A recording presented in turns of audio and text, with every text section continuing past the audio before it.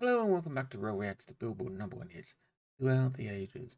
We're in 1964, and after 14 weeks, someone finally knocked the Beatles off the topmost of the popmost, and it was Mr. Louis Armstrong with Hello Dolly. So this is not the one from the musical, I don't think. I think that was that was Carol Channing's one, right? Um, pretty sure I'm familiar with the song. I'm certainly familiar with Mr. Louis Armstrong. So, um, let's not chat too much. Let's just get straight into it and listen. Hello, Dolly. by Mr. Louis Armstrong.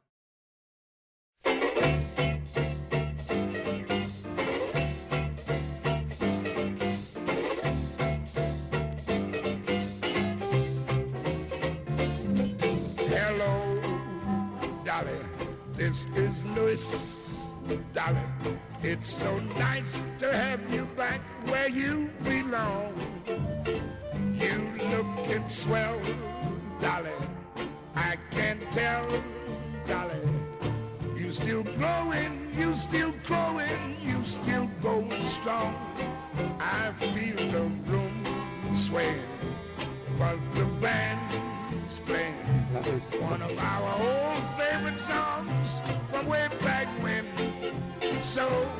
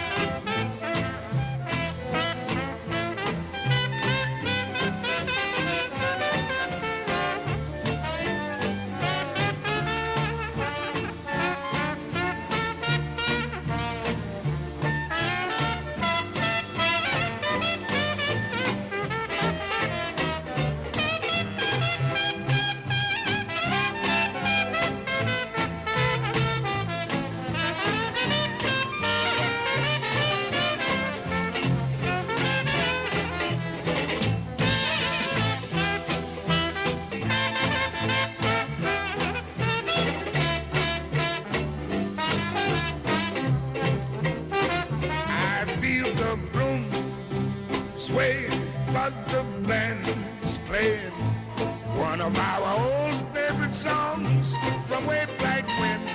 So, golly gee, fellas, have a little faith in me, fellas.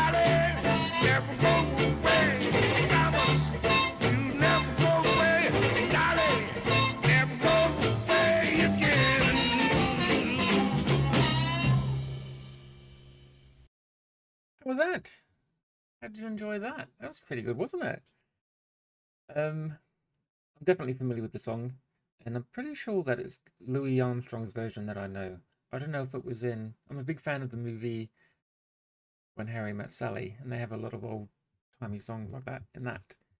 Um, so I'm not sure if that was featured in that, that film or not.